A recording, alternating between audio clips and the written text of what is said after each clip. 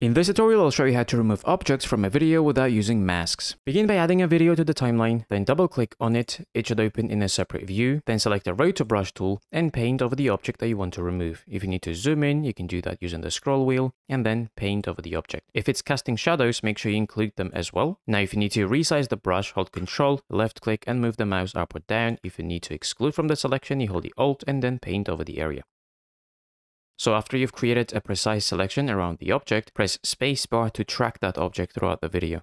And once the tracking is done, we're going to go back to the composition view at the top. Now in Effect Controls, we're going to check Invert Foreground Background. That will remove the object from the scene. Now we go up to Window, and enable content aware fill. Now inside of it, we increase the alpha expansion to 20 or 30 to expand the selection around our object. Now fill method should be set to object, range, work area. Now click generate fill layer and then wait until After Effects generates the frames that will fill this gap.